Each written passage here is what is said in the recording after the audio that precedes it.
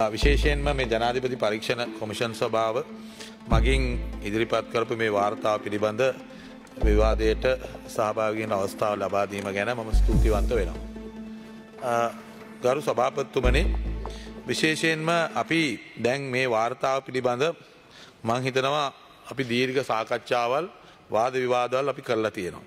මේ සභාව තුළත් සභාව පිටත් මන්ත්‍රියවරු හැටියට මේ පෞගිය කාලේ ජනාධිපත්තුමා විසින් පත්කරපු පරීක්ෂණ වාර්තාව ඒ කොමිෂන් සභා වාර්තාව ගැන අපි නොයකුත් දේවල් කතා කරලා තියෙනවා. දැන් මෙතන තියෙන ගැටලුව තමයි ගරු සභාපත්තුමනි. දැන් මේ වාර්තාව ඉදිරිපත් වෙලා ජනාධිපත්තුමා විසින් ඒ කරපු කතාවේදී එතුමා සඳහන් කළා මේක අපරාධ පරීක්ෂණ දෙපාර්තමේන්තුවට යොමු කරනවා. එවගේ අල්ලස් දූෂණ කොමිෂමට වාර්තාව ඉදිරිපත් කරනවා. ඊළඟට පොලිසියට ඉදිරිපත් කරනවයි කියලා මේවා ඉදිරිපියර ගන්න එතුමාගේ ඒ වාර්තාව ඉදිරිපත් කරපු දවසේ එතුමාගේ ඒ සාකච්ඡාවේදී එවගේම එතුමාගේ කතාවේදී එතුමා කළා. නමුත් අවාසනාවකට තවම මේවා වෙලා නැහැ. එතකොට මේ කොමිෂන් වාර්තාව ලබාදීලා දං අවුරුද්ධකට වගේ කාලයක් ගත වෙනවා ඒවා ඉදිරියට ගෙන යන්න ඒ වාර්තාවේ තියෙන අඩංගු නිර්දේශ ඔවු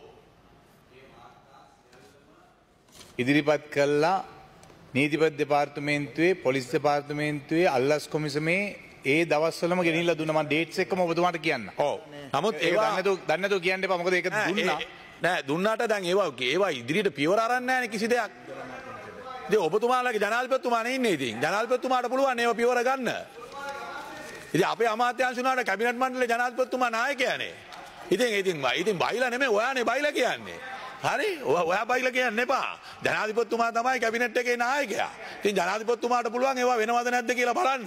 ජනාධිපත්තුමා වේදිකාවට ඇවිල්ලා කෑගාල වැඩක් නැහැ. මේ මේ දූෂණය නැවතුනේ නැහැ. දූෂණය මේ මේ වැළැක්වීමට පියවර මේ පියවර ගන්න බැරි වුණා. ඒවා කියලා වැඩක් නැහැ. ජනාධිපත්තුමා කැබිනට් මණ්ඩලේ නායකයා ජනාධිපත්තුමා මේ රටේ පාලකයා ජනාධිපත්තුමාට මේ රටේ ජනතාව වරම දුන්නේ මේ රටේ දූෂණය වංචාව නවත්තන්න එහෙම කියපු ජනාධිපත්තුමා තමයි විසිහයවැනිදා ඔය මේ වාර්තාවේ තියෙන පුද්ගලොත් එක එකතු වෙලා ආණ්ඩුව හැදුවේ ගරු මන්ත්‍රීතුමා ඒක ගැන කියන්න උත්තරයක් මේ මේ මේ මේ මේ මේ මේ වාර්තාවේ මේ කොමිෂන් සභාව නිර්දේශ කරලා තියෙන වංචාවලට සම්බන්ධ වෙච්ච දූෂණවලට සම්බන්ධ වෙච්ච මේගොල්ලන්ට විරුද්ධව නඩු දාන්න කියලා ඒ කොමිෂන් සභාව නිර්දේශ කරලා තියෙද්දි එදා පා එදා එලිපානේ ජනාධිපතිතුමා කියලා ආණ්ඩුව හැදුවේ කාත් එක්කද?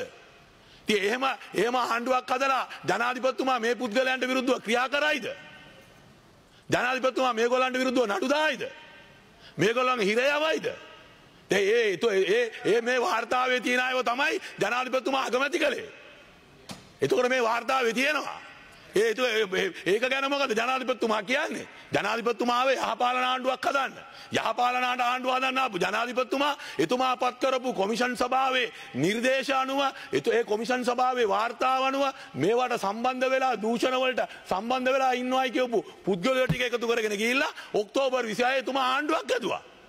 එතුමාගේ මොකද අපිට බලාපොරොත්තු වෙන්න පුළුවන් දූෂණයට විරුද්ධ ගන්න පුළුවන් පියවර. මොකද ඒ කෝමද විශ්වාසය කොට නැගෙන්නේ. ඒ විශ්වාසය බින්දම්මේ එතුමා. එතුමා විශ්වාසය කඩා දැම්මේ. එතුමා ය මේ රටේ ජනතාවට දූෂණය වංචාව පිළිබඳව යම් පියවරක් ගන්නවයි කියලා යම් මේ ආණ්ඩුව යම් ක්‍රියාමාර්ගයක් අරගෙන යනවයි කියලා යම් විශ්වාසයක් මේ රටේ ජනතාවට තිබුණනම් ඒ විශ්වාසය නැතිකර ජනාධිපත්තුමා. ඒකයි වැඩේ.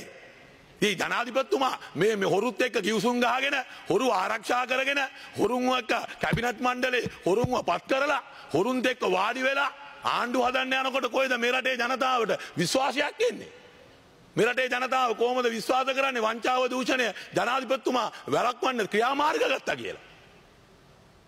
මොන ක්‍රියාමාර්ගද හොරුත් එක්ක එකතු වෙලා. ඒ එතුමා මනිකිවේ කම්බ හොරු කියලකිවේ ජනාධිපත්තුමා. අපි නෙමෙයි. මැතිවරණ වේදිකාවේ මහින්ද රාජපක්ෂ මහත්තයගේ පවුලේ උදවේගේ හොරකම් ඔක්කම කතා කරේ ජනාධිපත්තුමා. එතු එතකොට ඔබතුමාත් හිටියා මහින්ද රාජපක්ෂ මහත්තයත් එක්ක. ඔබතුමාට දැන්නේ ජනාධිපත්තුමා හොඳ වෙලා තියෙන්නේ. අපින එතුමාව ගෙනාවේ. ඔවු අපි ගෙනාවේ. එහින්ද අපිට එතුමා ගැන ඕන විවේචනයක් කරන්න අයිතිය තියෙනවා. ඔවු ගෙනාපු මිනිට අපි ගහන්න නෑ ගෙනාපු මිනි අපිය පාවල දුන්නා. ගෙනාපු මිනි අපිය පාවල දුන්නා. ගෙනාපු මිනිිය අප අපේ චන්දටිකාරගෙන ගිල්ලා එයාට එයාට ඇඩ්‍රස් නැති වෙනකොට මහින්ද රාජපක්ෂ මහත්තයගේ කරේල්ලුනා. ගෙනාපු මිනිිය. ඒකයි අපිට තියෙන ප්‍රශ්නේ. එයා එයා ජනවර එයා ලක්ෂ හැට දෙකේ ජනවරම පාවල දීල ගියා. පාවල දුන්න.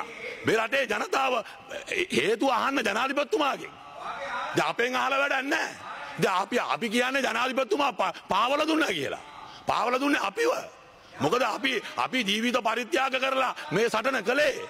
එතකොට ඔබතුමා හිටියේ අපේ කඳවුරේ නෙමෙයි. ඔබතුමා හිටියේ ඒ පැත්තේ ඒ කඳවුරේ. ඒ ඒ කඳවුරේ ඔබතුමා හිටියේ. ඔබතුමාත් හිටියේ ජනාධිපතිතුමාව අඩි 6ක් පල්ලයට යවන්න. මොකද නැත්තේ ඔබතුමාගේ කතාව අපි දැක්ක නේදා. ඒ ඔබතුමාගේ කතාවල් එදා මැතිවරණ වේදිකාවේ ඔබතුමා මොකද්ද කිව්වේ? අයියෝ සිරිසේන කියලා කිව්වේ ඔබතුමා. ආ මොකද්ද ඔබතුමා කියපු කතාව? ජනාධිපතිතුමාව වීලුකාරයෙක් කරලා ඔබතුමා කතා කළේ. එහෙමයි ඔබතුමාගේ කතා මේ තවම දානවා. සිරස රූපවාහිනිය බැලුවොත් තවම ඔබතුමාගේ පරණ කතාවල් දානවා ජනාධිපතිතුමාට අපහාස කරලා කතා කතා කරපු විදිය. ඔක බලන්න ගිහිල්ලා YouTube එකට යන්න. ගිහිල්ලා බලන්න. හරි ඒ බලලා එතුම් බොත්මාට පේනවා. ඒහින්ද අද ඔබතුමා අද ඔබතුමාට පක්ෂ ලේකංකම දීලා තියෙන හින්දා අද ඔබතුමාට ජනාධිපතිතුමා හොඳයි. හරි ඒහින්ද අපිට අයිතියක් තියෙනවා අපි පත් කරපු ජනාධිපත්තුමා ගැන විවේචනය කරන්නත් අපිට අයිතිය තියෙනවා හොඳ කියන්නත් අපිට අයිතිය තියෙනවා. මොකද අපි මේ ජනාධිපත්තුමාව ගෙනාවේ. අපේ චන්දෝලින් මෙතුමා මෙතු මේ පුටුවට ගියේ. හරි මොකද කවුද මට ගන්න. අපි මොකද මට ගන්න අපි කෙලින් කියන්නේ. අපි මට ගහන්න අපි මේ කෙලින් කියන්නේ. අපි ජනාධිපත්තුමාගේ මූුණටත් කියලා තියෙනවා ජනාධිපත්තුමා ඔබතුමා මේ කරපුදේ වැරදිී කියලා. අපි ජනාධිපතුමාගේ මූුණටත් කියපු මිනිස්සු. ඒහින්ද අපි මඩගහන්නේ නෑ. ඒ මඩගහන මිනිස්සු ඉන්න පුළුවන්. අපිට ඕමනාවක් නෑ මඩගහන්න අපි මේ කතා කරන්නේ දේශපාලනය. අපි මේ කතා කරන්න එතුමයි අපිත් එක් එකඟ වෙච්ච දේශපාලන එකඟත්තය ඒ දේශපාලන කලවසනයි. එක දේශපාලන එකඟත්තය එතුමා බිඳහැලවා ඒ බිඳහැලීම වෙනුවෙන් තමයි අපේ විරෝධය තියෙන් ඒමනතු එතුමත් එක් අපිට වෙන ගැටුමක් නෑ එතුමා මෙලටේ රක්ෂ හැරදේක ජනතාවගේ බලාපොරොත්තුත් එක් කාවේ ඒ ආපු බලාපොරොත්තු එතුමා විනාශ කරලා දැම්ම. කඩල දැම්ම. ඒකයි අපේ විරෝධය. ඒහින්ද ඔබතුමා කාලය ලබාදීම ගැන ස්තුතිවන්ත වෙන ගරු සභාපත්තුමනි. නමුත් කියන්න තියෙන හොඟත් තිබුණක් කියන්න හම්බුණේ නෑ ස්තුති කරමන්තුමා